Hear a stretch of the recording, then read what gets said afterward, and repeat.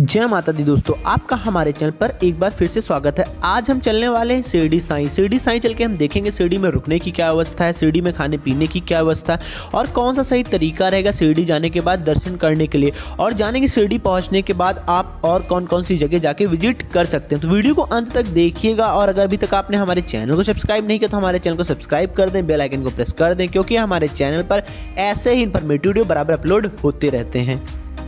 शिरडी जाने वाले अधिकतम भक्त बाई ट्रेन ही शिरडी जाते हैं। शिरडी जाने के लिए मुख्य तौर पे तीन रेलवे स्टेशन सबसे पहला रेलवे स्टेशन शिरडी साई नगर, जिसकी दूरी शिरडी मंदिर से मात्र तीन किलोमीटर के आसपास की दूसरा है कोपरगांव, जिसकी दूरी लगभग साठ किलोमीटर के आसपास है मंदिर से। तीसरा है नासिक रोड। तो हम लोग अपनी यात्रा नासिक रोड से करने वाले क्योंकि हमारे शहर से शिरडी साई नगर के लिए और कोपरगांव से कोई भी ट्रेन नहीं थी, इसलिए हम लोगों ने अपना रिजर्वेशन नासिक रोड के लिए कराया था। तो अभी हम लोग पहुँच चुके हैं नासिक रोड।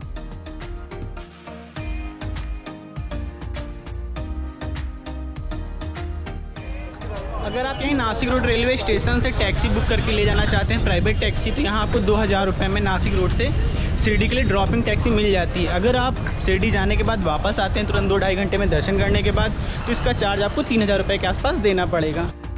ये है नासिक रोड रेलवे स्टेशन के बाहर बना हुआ टैक्सी स्टैंड यहीं से आप अपनी टैक्सी की बुकिंग करा सकते हैं।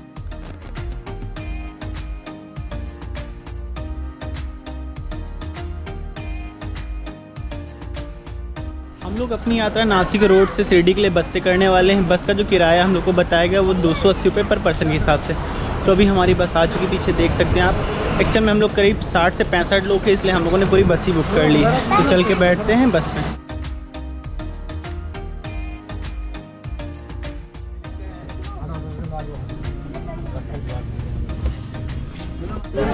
तो अभी हम लोग बस में बैठ चुके हैं और चलते हैं शिरडी के लिए।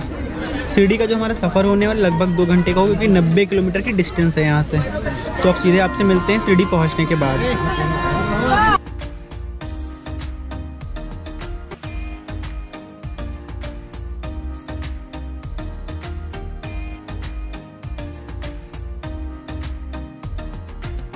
अब हम पहुँच चुके हैं शिरडी और यह है शिरडी का साईं बाबा आश्रम, जो कि शिरडी साईं ट्रस्ट द्वारा संचालित। है यहाँ पे आने वाले सभी भक्तों के लिए बहुत कम पैसे में रूम अवेलेबल कराए जाते तो हैं। अभी हम लोग पहुँच चुके हैं शिरडी साई आश्रम।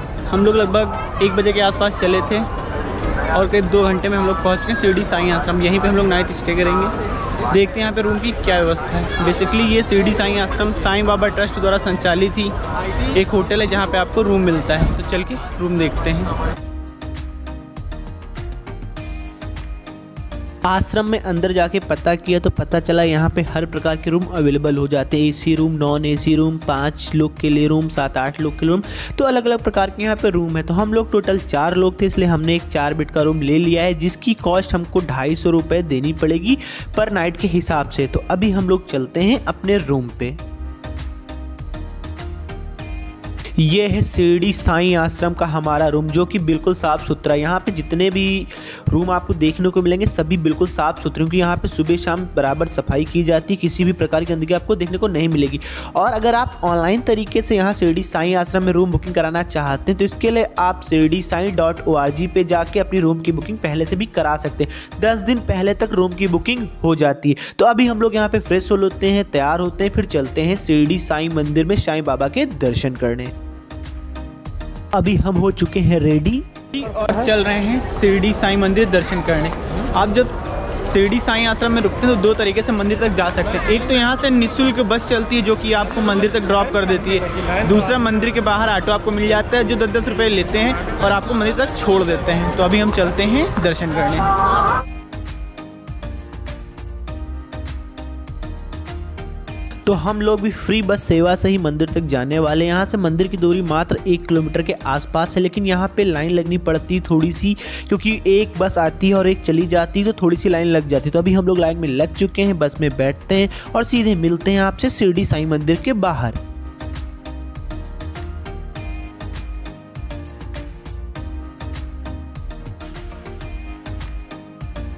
अब हम पहुँच चुके हैं साईं मंदिर। साईं मंदिर में पहुँचने के बाद जानकारी हुई, यहाँ पे दो तरह से भक्तों के दर्शन कराए जाते हैं। एक तो वीआईपी दर्शन होते हैं, जिसके लिए आपको ढाई सौ रुपये की पर्ची कटानी होती। एक निःशुल्क दर्शन होते हैं, जो कि साधारण भक्तों के लिए होते हैं, या आपको फ्री में कराए जाते हैं। तो अभी हम लोग चलते हैं, पहले पर्ची कटा लेते हैं। अगर आप स्पेशल दर्शन करना चाहते हैं तो उसके लिए गेट नंबर एक से आपको पर्ची कटानी पड़ेगी। और अगर आप साधारण दर्शन करना चाहते हैं तो इसके लिए आपको गेट नंबर दो से आगे जाना पड़ेगा, जहाँ से आपकी पर्ची कटती है। दर्शन आपको दोनों जगह एक ही होते हैं, शिरडी साईं बाबा के, लेकिन बस एक, अगर आप वीआईपी दर्शन करेंगे तो आपको 15 से 20 मिनट में दर्शन हो जाते हैं। अगर आप साधारण दर्शन करते हैं तो इसके लिए आपको डेढ़ से दो घंटे की लंबी लाइन लगनी पड़ती और कभी कभी पैड दर्शन में भी बहुत ज़्यादा लंबी लाइन हो जाती तो आधे से एक घंटे इसमें भी समय लग जाता है। तो सबसे पहले चल के हम अपनी निःशुल्क पर्ची कटा लेते हैं, क्योंकि हमको साधारण दर्शन ही करने हैं। जैसे आप वैष्णो देवी जाते हैं, वहाँ आपका रजिस्ट्रेशन किया जाता है, वैसे यहाँ भी रजिस्ट्रेशन होता है। लेकिन यहाँ पे आपको दो तरीके से रजिस्ट्रेशन करा सकते हैं। अगर आप स्पेशल दर्शन करना चाहते हैं तो आपको दो सौ का इंटर टिकट लेना पड़ेगा। अगर आप फ्री में दर्शन करना चाहते हैं तो उसके लिए आपको अलग अपना बायोमेट्रिक करवाना पड़ेगा। तो हम लोग अभी फ्री वाले चल के दर्शन करेंगे तो चल रहे हैं बायोमेट्रिक करवाने।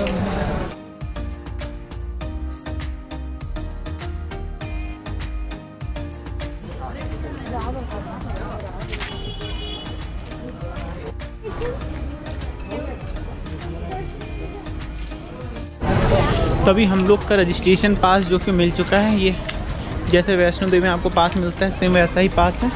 बस उस पर वैष्णो देवी ट्रस्ट होता है और इस पर है श्री शिरडी साईं बाबा ट्रस्ट तो हम लोग को चल के लगना है लाइन तो आधे से घंटे में हम लोग के दर्शन हो जाएँगे।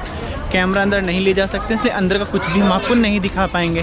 कैमरा बाहर ही रख देंगे, लेकिन बाहर आके हम आपको बताते हैं कि कैसे मंदिर बना हुआ और कितना टाइम लगता है दर्शन करने में। तो वीडियो कंटिन्यू देखते रहिएगा।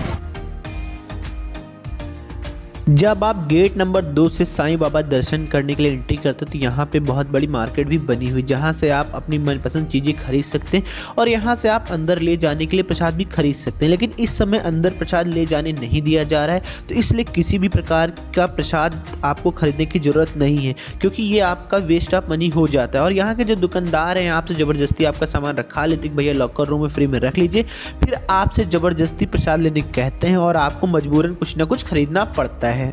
तो अभी हम लोग के दर्शन हो चुके हैं शिरडी साईं मंदिर के लेकिन यहाँ पे एक दिक्कत यह है कि बाहर से अगर आप कुछ भी खरीद के ले जाते हैं तो मंदिर में आपको बिल्कुल भी चढ़ाने नहीं दिया जाता है गेट पे ही रखवा दिया जाता है। तो आप अगर यहाँ आ रहे हैं दर्शन करने जा रहे हैं तो कुछ भी बाहर से ख़रीद के ले जाना मंदिर के अंदर सही नहीं है क्योंकि कुछ ले जाने देंगे नहीं आपको तो क्या फ़ायदा पैसे वेस्ट होंगे।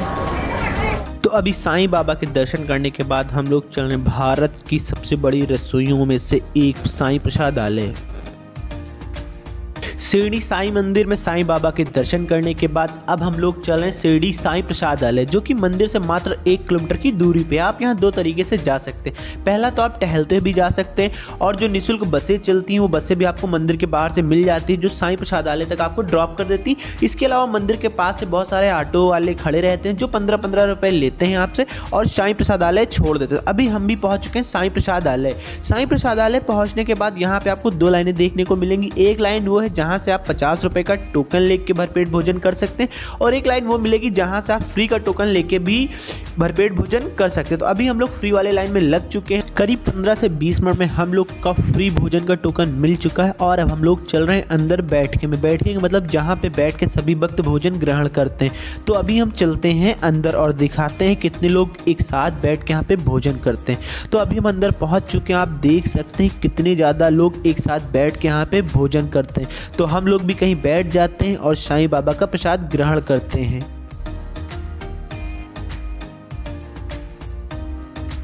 कहते हैं, शिरडी साईं प्रसादालय की रसोई की शुरुआत 19वीं सदी में हुई थी। लोगों की मान्यता है कि अपने समय में साईं बाबा खुद चक्की पे गेहूँ का आटा पीस के रसोई चलाते थे। अब समय के साथ ये दुनिया की सबसे बड़े रसोइयों में से एक है। यहाँ पे पर डे लगभग पैंतीस हज़ार से चालीस हज़ार लोग खाना खाते हैं और कभी कभी स्पेशल जब कोई त्यौहार पड़ता है तो ये संख्या एक लाख लोगों तक भी पहुँच जाती है। इसके अलावा शिरडी साईं पहुँचने वाले भक्तों के लिए यहाँ पे पाँच रुपये में नाश्ते का पैकेट भी अवेलेबल कराया जाता है, जो कि सुबह सुबह आठ बजे से लेकर दस बजे के बीच में वितरित किया जाता है। तो आप यहाँ पाँच रुपये में नाश्ते का पैकेट भी प्राप्त कर सकते हैं। अब अगर बात करें शिरडी साई में आपका कितना खर्च आने वाला है तो शिरडी पहुँचने के बाद आप हज़ार रुपये में बहुत अच्छे से शिरडी विज़िट कर सकते हो कि आपको बहुत कम खर्च में रूम मिल जाता है, खाना भी आपको फ्री में लगभग मिल जाता है। पानी की बोतल यहाँ पाँच रुपये दस रुपये चाय, दो रुपये कॉफ़ी तीन रुपये मिल जाती है। तो बहुत ही सस्ता है शिरडी घूमना। शिरडी पहुँचने के बाद अगर बात करें आप कहाँ और जा सकते हैं तो यहाँ पहुँचने के बाद आप यहाँ से बॉम्बे जा सकते हैं, जो ढाई से सौ, तीन सौ किलोमीटर के आसपास है। आप त्र्यंबकेश्वर जा सकते हैं इसके अलावा आप सनी सिग्नापुर भी जा सकते हैं। जितने भी भक्त शिरडी जाते हैं, वो सिग्नापुर भी जाते हैं तो आप सिग्नापुर जाके भी दर्शन कर सकते हैं। तो दोस्तों, आज की वीडियो में बस इतना ही। कैसा लगा आज का हमारा ये वीडियो? कमेंट में बताया ज़रूर। अगर शिरडी आप जाना चाहते हैं, आपका कोई सवाल है शिरडी को लेकर तो कमेंट में कमेंट कर सकते हैं। आपको रिस्पांस तुरंत दिया जाएगा। और अगर अभी तक आपने हमारे चैनल को सब्सक्राइब नहीं किया तो हमारे चैनल को सब्सक्राइब कर दे बेलाइकन को प्रेस कर दें, क्योंकि हमारे चैनल पर ऐसे ही यात्रा से जुड़े हुए इन्फॉर्मेटिव वीडियो बराबर अपलोड होते रहते मिलते हैं आपसे नेक्स्ट वीडियो में। तब तक के लिए जय माता दी। Subscribe now and press the bell icon.